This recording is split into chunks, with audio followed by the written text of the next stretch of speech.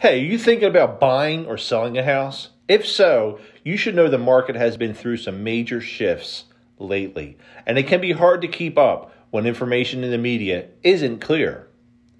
As the quote says, in the absence of trustworthy, up to date information, real estate decisions are increasingly driven by fear, uncertainty, and doubt. But it doesn't have to be that way.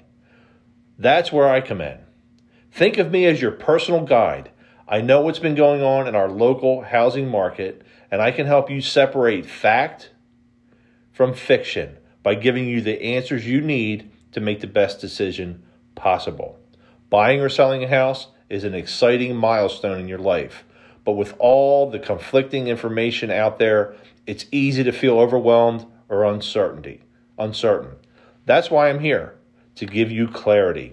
So if you'd like me to work as your expert guide, sounding board, and support system as you navigate the housing market, let's connect.